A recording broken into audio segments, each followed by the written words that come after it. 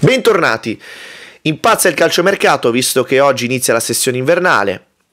Buchanan, Buchanan, come cavolo si chiama, pare addirittura d'arrivo. Domani dovrebbe arrivare a Milano per visite e firme, a detta di Fabrizio Romano.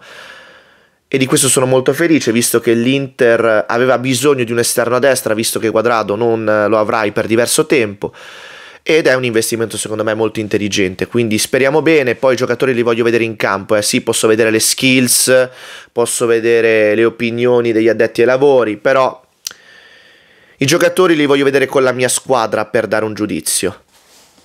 Detto questo Buchanan ha delle qualità importanti e speriamo che possa darci una grossa mano perché ne abbiamo bisogno in questo momento.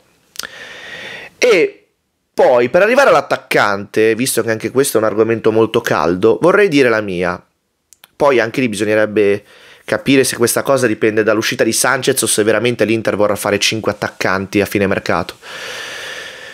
Allora, se vogliamo fare il Felipe Caicedo della situazione, rimaniamo con quelli che abbiamo adesso.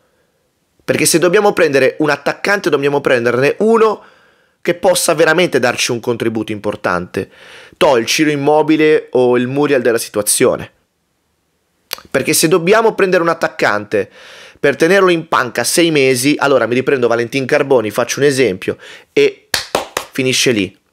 Però se veramente l'Inter vuole competere su più fronti, Champions League, campionato, poi la Supercoppa sono due partite, però l'Inter deve recuperare poi la partita di campionato, abbiamo capito in sostanza ha bisogno di 5 attaccanti che possano veramente fare la differenza.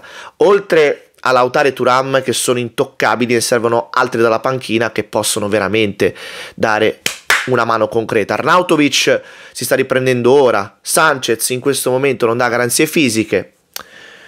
Un attaccante da prendere alla Ciro Immobile sarebbe veramente il mio sogno proibito e l'ho detto in un mio video. Per me lui sarebbe perfetto, poi Chiaro, bisognerà vedere diverse cose. Dubito che possa arrivare immobile, ma io spero che l'Inter faccia un attaccante che possa realmente fare la differenza a gare in corso e che possa anche dare fiato ai due lì davanti, i titolari intendo. Non dobbiamo fare l'errore di due anni fa, questo è quello che, questo è quello che penso. Detto questo ragazzi, sempre forza Inter e seguite la pagina per altri contenuti.